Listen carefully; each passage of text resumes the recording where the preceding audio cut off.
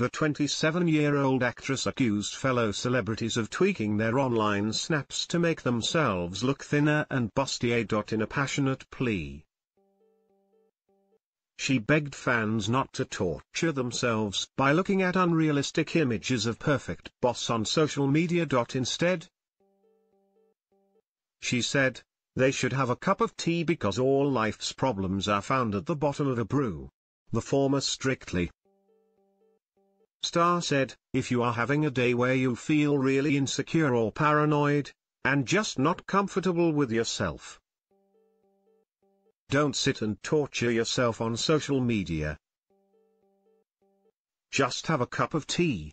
Georgia said that she knew of fellow actresses and celebrities who heavily edit their online photos. She added, There are so many people you wouldn't expect in this industry that edit their photos.